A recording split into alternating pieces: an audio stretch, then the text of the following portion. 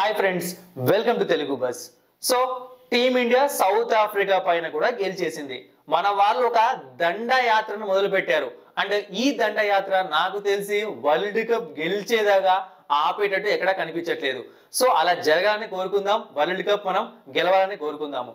అయితే last match మనం శ్రీలంక పైన విక్టరీ సాధించాము. అది వేరే విషయం అనమాట ఫిఫ్టీ ఫైవ్కి వాళ్ళని అలౌట్ చేశాము. శ్రీలంక ఈ వరల్డ్ కప్లోనే కాదు ఆల్మోస్ట్ ఒక టూ త్రీ ఇయర్స్గా చాలా వీక్గా కనిపిస్తుంది. అదంతా పక్కన పెట్టేద్దాం. కానీ సౌత్ ఆఫ్రికాకి ఏమైంది? ఈ ప్రెసెంట్ లీగ్లో మనకు ఏ టీం అయినా గట్టిగా పోటీ ఇస్తుంది అంటే అది సౌత్ ఆఫ్రికానే. ఎందుకంటే వాళ్ళు అలాంటి విక్టరీస్ని నమోదు చేస్తూ వస్తున్నారు. అంటే నెదర్లాండ్స్తో వాళ్ళు ఓడిపోయారు. చేసింగ్లో కొంచెం వీక్గా ఉన్నారు. కానీ ఎయిటీ త్రీకి ఆల్ అవుట్ అయ్యేంత వీక్గా అయితే వాళ్ళ టీం లేదు. ఎందుకంటే బ్యాటింగ్ డిపార్ట్మెంట్ చాలా స్ట్రాంగ్గా ఉంది. ఒక మాటలో చెప్పాలి అంటే the best batting lineup versus the best bowling lineup ఈరోజు మ్యాచ్ జరిగింది.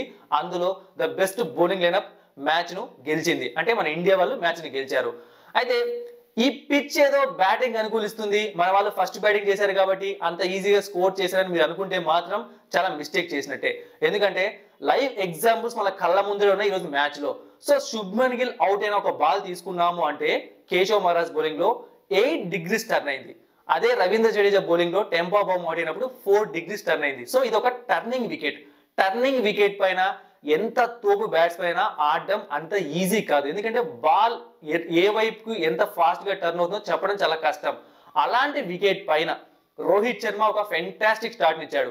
చేసింది తక్కువ రన్స్ మీరు అనుకోవచ్చు కానీ పిచ్ను బట్టి మనం ఎన్ని రన్స్ చేశాడు దాన్ని అనలైజ్ చేయాలి. సో చాలా మంచి స్టార్ట్ ఇచ్చాడు. అండ్ శుభ్మన్ గిల్ వికెట్కి వచ్చాము అంటే సో ఆల్రెడీ చెప్పాను అనమాట అంత టర్న్ అయినప్పుడు మనం బ్యాట్స్మెన్ కూడా తప్పు పట్టలేం. సో జరిగిపోతూ ఉంటాయి. కానీ విరాట్ కోహ్లీ ద మ్యాన్ మనం క్రైసిస్లో ఉన్నప్పుడు కొన్ని వందల మ్యాచ్ల్లో మనకు అడ్డుగా నిలబడ్డాడు. సో ఈ రోజు మళ్ళీ నిలబడ్డాడు చాలా బాగా ఆడాడు. అయితే ఈ రోజు విరాట్ కోహ్లీ ఫార్టీ నైన్ సెంచరీస్ని కంప్లీట్ చేసుకున్నాడు. అది కూడా తన బర్త్డే రోజు. అంటే థర్టీ ఫైవ్ ఇయర్స్ ఇయర్స్ అప్పుడు ఫార్టీ నైన్ సెంచరీస్ని కంప్లీట్ చేసుకున్నాడు. సచిన్ కోహ్లీతో సహా పక్కన నిలబడ్డాడు అనమాట ఎందుకంటే సచిన్కి కూడా వన్ డేలో ఫార్టీ నైన్ సెంచరీస్ ఉన్నాయి. అయితే Virat Kohli forty nine centuries చేయడం ఒక రికార్డు. దాని గురించి మనం సపరేట్గా మాట్లాడదాము. విరాట్ కోహ్లీ చాలా గ్రేట్ అని చెప్పి.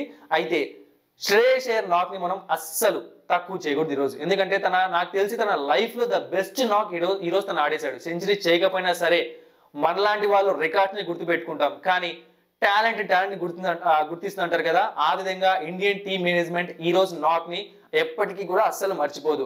ఎందుకంటే ఒకవేళ శ్రేయస్ అయ్యర్ ఈ రోజు విరాట్ కోహ్లీకి స్టాండ్ ఇచ్చి సపోర్ట్ ఇవ్వకుండా ఉండి ఉంటే గ్రౌండ్లో విరాట్ కోహ్లీ పైన కూడా ప్రెజర్ పెరిగిపోయేది. ఆ టైంలో విరాట్ కోహ్లీ అవుట్ అయ్యి శ్రేయషర్ అవుట్ అయినా టీమిండియా టపా టపా అని చెప్పి పేక మెడలాగా కూలిపోయేది. సో అందుకే శ్రేయషర్ నాగ్ని మనం గుర్తించాలని చెప్తున్నాను. దాన్ని ఖచ్చితంగా గుర్తుపెట్టుకోండి. ఇక కోహ్లీ విషయానికి వద్దాం. Forty nine centuries. అండ్ ఈ ఫార్టీ నైన్ సెంచరీస్ని కూడా చాలా తక్కువ ఇన్నింగ్స్లో ఎందుకంటే సచిన్ ఫార్టీ నైన్ సెంచరీస్ని వన్ డే ఫార్మాట్లో ఆల్మోస్ట్ ఫోర్ ఫిఫ్టీ టూ అనుకుంటా. So four fifty two innings ఆడాడు. కానీ Virat Kohli two seventy seven ఇన్నింగ్స్లోనే కొట్టాడు. ఒప్పుకుంటాను. సచిన్ గేమ్ ఆడినప్పుడు పరిస్థితులు వేరు రూల్స్ వేరు. సో అప్పుడు బౌలర్స్ వేరు. చాలా కఠినంగా ఉండేటివి. కానీ మనం ఒకటి కంపేర్ చేసాము అంటే ఇక్కడ డిఫరెన్స్ అన్నది ఏ twenty innings thirty innings forty innings లేదు. వన్ సెవెంటీ ఫైవ్ అనుకుంటాను. అంత డిఫరెన్స్ ఉంది. సో ఇది ఇది నార్మల్ కాదు. అండ్ ఇంకొక విషయం ఏంటి అంటే సచిన్ క్రికెట్ ఆడే రోజుల్లో తనకు రెస్ట్ అనేది ఉండేది కాదనమాట. అంటే ఆల్మోస్ట్ ప్రతి గేమ్ ఆడాల్సి వచ్చేది. సో ఆ విధంగా వెళ్ళేవాడు. కానీ విరాట్ కోహ్లీ చిన్న చిన్న టీమ్స్ పైన చాలా తక్కువ మ్యాచ్లు ఆడుతూ వచ్చాడు అనమాట ఎందుకంటే ప్లేయర్స్ పెరగడం మన స్క్వాడ్ స్ట్రెంత్ పెరగడము ఆ విధంగా సీనియర్ ప్లేయర్స్ రెస్ట్ ఇవ్వడము ఇలాంటివి జరగడం వల్ల చిన్న చిన్న టీమ్స్ పైన చాలా తక్కువ మ్యాచ్లు ఆడాడు. ఇవన్నీ జరిగి కూడా అన్ని తక్కువ ఇన్నింగ్స్లో ఫార్టీ నైన్ సెంచరీస్ కొట్టాడు అంటే డెఫినెట్లీ హీఈస్ ద లెజెండ్. అంతేకాకుండా లిమిటెడ్ ఓవర్స్ ఫార్మాట్లో ఫిఫ్టీ సెంచరీస్ కంప్లీట్ చేసుకున్నాడు. అంటే టీ ట్వంటీ ఫార్మాట్లో విరాట్ కోహ్లీకి ఒక సెంచరీ ఉంది ఇక్కడ ఫార్టీ నైన్. టోటల్గా ఫిఫ్టీ సెంచరీస్. అంటే ఇది మనం చెప్తున్న మాట కాదు సచిన్ అంటే సారీ విరాట్ కోహ్లీ గ్రేట్ అని చెప్పి.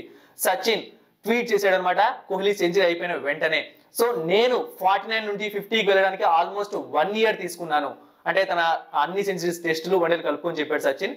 కానీ నువ్వు నాకు తెలిసి ఇంకొక కొన్ని రోజుల్లోనే అది కూడా కంప్లీట్ చేయాలని కోరుకుంటున్నానని చెప్పాడు. సో ఒక లెజెండే వచ్చి ఇంకొకరిని లెజెండ్ అంటుంటే ఇక మనం ఎవరం కాదనడానికి. So modern phase of cricket అనమాట అది ఇంకొకసారి ప్రూవ్ చేశాడు. అండ్ ఈ మ్యాచ్ గెలవడంలో విరాట్ కోహ్లీ కూడా కీలక పాత్ర పోషించాడు. అయితే ఇప్పుడు మనం మన బౌలింగ్ విషయానికి వద్దాం. ఎయిటీ త్రీకి ఆల్అౌట్ చేశారు భయ్య. అంటే టర్నింగ్ వికెట్ నేను ముందే ఎక్స్పెక్ట్ చేశాను. కుల్దీప్ యాదవ్ జడేజా ఖచ్చితంగా బాగా పర్ఫామ్ చేస్తారని. కానీ Jadeja five wickets so Jadeja విషయం ఫైవ్ వికెట్స్ అనమాట టర్నింగ్ వికెట్ పైన స్పిన్నర్స్ అనుకూలిస్తుందిగా తీసేసుకున్నాడు. కుల్దీప్ యాదవ్ ఒక టూ వికెట్స్ పక్కన పెట్టేస్తే మొహమ్మద్ షమి మరొకసారి ఫస్ట్ ఓవర్లోనే వికెట్ అండ్ ఈ రోజు మ్యాచ్లో టోటల్గా టూ వికెట్స్ అనుకుంటాను. సో ఆడింది జస్ట్ ఫోర్ మ్యాచెస్ అప్పుడే sixteen wickets so Mohammed Shami present చాలా హాట్ ఫామ్లో రెడ్ హాట్ ఫామ్ అంటారు కదా ఆ విధంగా పర్ఫామ్ చేస్తున్నాడు. అంటే నేను ఆల్రెడీ చెప్పాను అనమాట హార్దిక్ పాండే లేకపోవడం అనేది టీమిండియాకు మైనస్ అవుతుంది. కానీ ఇదే ప్లేయింగ్ ఎలెవెన్తో ఇదే ఫామ్తో ముందుకు వెళ్తే వరల్డ్ కప్ అనేది మనకు చాలా చిన్న విషయం అవుతుంది. కానీ ఎవరికి ఏ ఇంజురీ కావద్దని కోరుకుందాము. మన వాళ్ళు ఇలాగే పర్ఫామ్ చేయాలని కోరుకుందాము. అయితే ఈ రోజు ఇప్పుడు మనం చూసుకున్నామంటే ఎవరికి ఎన్ని మార్కులు వేయాలి మన ప్లేయర్స్ కంటే ప్రతి ఒక్కరికి టెన్ అవుట్ ఆఫ్ టెన్ అనమాట ఎందుకంటే ప్రతి ఒక్కరు చాలా ఫెంటాస్టిక్గా పర్ఫామ్ చేశారు. అండ్ ఇంకొక విషయం ఏంటి అంటే ఒకసారి మనం వరల్డ్ కప్లో మ్యాచెస్లో అన్ని టీమ్స్ని గమనించాము అంటే ఫీల్డింగ్ అవ్వచ్చు బౌలింగ్ అవ్వచ్చు బ్యాటింగ్ అవ్వచ్చు బ్యాటింగ్లో top order middle order lower order ఏది తీసుకున్నా సరే.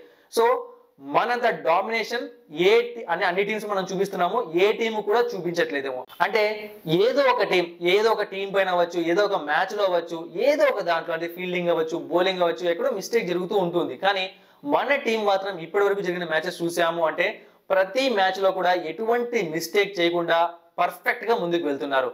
సో ఇదే రకంగా ముందుకు వెళ్ళాలని కోరుకుందాము. నెక్స్ట్ అయితే మనకు నెదర్లాండ్స్తో మ్యాచ్ ఉంది. సో ఆ మ్యాచ్లో ఖచ్చితంగా గెలుస్తాము. కానీ మనకు తెలుసు కదా సెమీ ఫైనల్స్లో ఫైనల్స్లో మన వాళ్ళు ప్రెజర్ ఫీల్ అవుతారో తెలియదు లేకుంటే ఏమంటారు కదా సంథింగ్ ఏదో జరుగుతుందా దాన్ని ఎక్స్ప్లెయిన్ చేయలేం. అలాంటివి జరుగుతూ ఉంటాయి. సో అవన్నీ ఏం జరగకుండా ఖచ్చితంగా ఈ వరల్డ్ కప్ మనం కొట్టాలని కోరుకుందాము. Thank you for watching and supporting మీ మరిన్ని ఇంట్రెస్టింగ్ వీడియోస్ కోసం సబ్స్క్రైబ్ చేయడం మర్చిపోకండి.